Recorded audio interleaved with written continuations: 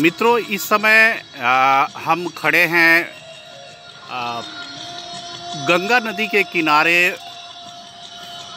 प्राचीन सभ्यता द्वार जो पाटलिपुत्र के एक धरोहर के रूप में जाना जाता था उस धरोहर को जीवंत करने के लिए उस यादगार को ताज़ा करने के लिए वर्तमान सरकार के मुख्यमंत्री बिहार के मुख्यमंत्री माननीय नीतीश कुमार जी ने सभ्यता द्वार बनाने की कल्पना की, जो आज गंगा नदी के किनारे ज्ञान भवन के ठीक पीछे गांधी मैदान के बगल में ये बनकर खड़ा है। इसी साल इस सभ्यता द्वार की शुरुआत आम लोगों के लिए हुई है। आम लोग इसको देखते हैं आकर। इसका उद्घाटन 21 मई 2018 को बिहार के मुख्यमंत्री माननीय नीतीश कुमार जी ने किया था। और ये सभ्यता द्वार जो हम देख रहे हैं ऊपर यहाँ बिहार से जुड़े जो महापुरुष हैं भगवान बुद्ध, भगवान महावीर, सम्राट अशोक और मेकास्थनिज, इनके विचार यहाँ पर दर्शाए गए हैं। यहाँ पर हम भगवान बुद्ध के उस विचार को हम पढ़ रहे हैं जो यहाँ दर्शाया गया है। भगवान बुद्ध अपने विचार में कहते हैं कि यह नगर आर्यावर्त का सर्वश्रेष्ठ नगर होगा और संपूर्ण आर्यावर्त का नेतृत्व करेगा, परंतु इसे आग, पानी और आंतरिक मतभेद का सदैव भय बना रहेगा। ये हमारी दूसरी तरफ़ सम्राट अशोक का विचार है। ये कितना महान विचार है। सम्राट अशोक कहते हैं कि दूसरे धर्म का सम्मान करें क्योंकि इससे अपने ही धर्म की प्रतिष्ठा बढ़ती है। इसके विपरीत आचरण करने से अपने धर्म का प्रभाव तो घटता ही है, दूसरे धर्म की भी क्षति होती है। ये महान सम्राट अशोक के विचार है। उस तरफ़ है, हमारे दूसरी तरफ़ गंगा नदी के रुख के तरफ़ है भगवान महावीर और जो यात्री विदेशी यात्री मेगास्थनीज जो भारत आया था और बिहार आया था, वो बिहार में आ कर के जो कुछ उसने देखा अपने अपने यात्रा वृत्तांत में मेगास्थनीज ने इसका पूरा विवरण लिखा है।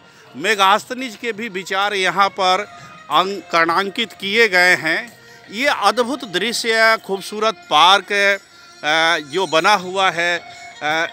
इस इस सभ्यता द्वार की ऊंचाई 105 फीट है और यह पटना का सभ्यता द्वार बनने के बाद गेटवे ऑफ़ इंडिया मुंबई और इंडिया गेट दिल्ली और फतेहपुर सीकरी का जो अकबर का बनाया हुआ जो बुलंद दरवाज़ा है, उसके बाद उन ऐतिहासिक धरोहरों में से ये पटना का सभ्यता द्वार भी आ गया है। हम यहाँ आ गए हैं। मेगास्थनिज के उपदेश या विचार जो भी रहे हैं मेगास्थनिज लिखता है कि पाटलिपुत्र का वैभव एवं ऐश्वर्य पर्शियन साम्राज्य के महान शहरों, सूसा एवं इकवताना से कहीं बढ़कर है।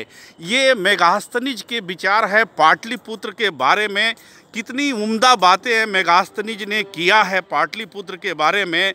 आप इससे अंदाज़ा लगा सकते हैं कि पाटलिपुत्र का वैभव मेगास्थनिज के दौरान आने के क्रम में, उस ज़माने में कितना कितना ज़बरदस्त रहा होगा। और अब उस विचार को आपको सुनाने जा रहा हूँ जो इस सभ्यता द्वार पर अंकित है। भगवान महावीर का विचार, भगवान महावीर कहते हैं कि सभी जीवित प्राणियों को सम्मान देना अहिंसा है। अहिंसा की इससे उत्कृष्ट परिभाषा और कुछ नहीं हो सकती है। ये सभ्यता द्वार भारत के जितने लोग हैं, यदि वो पटना आना चाहेंगे तो सभ्यता द्वार ज़रूर देखेंगे। और हमारे साथ इस समय सभ्यता द्वार के मुख्य गेट के नीचे महादलित परिसंघ के पटना जिला के अध्यक्ष है श्री सुरेश कुमार जी हैं। ये खुद पर्यटन विभाग के अधिकारी रह चुके हैं। और दूसरी तरफ़, हमारे दूसरे सुरेश कुमार गांधी जी हैं, जो महादलित परिसंघ पटना जिला के महासचिव हैं। और हमारे बगल में यहाँ के यहाँ के गार्ड हैं, सुरक्षा गार्ड हैं, जो यहाँ, ये जो कलाकृतियाँ हैं, ये जो धरोहर है, ये गार्डन है, यहाँ फूल के बगीचे हैं, उसको कोई नुकसान न पहुँचे। उसकी सुरक्षा के लिए हैं।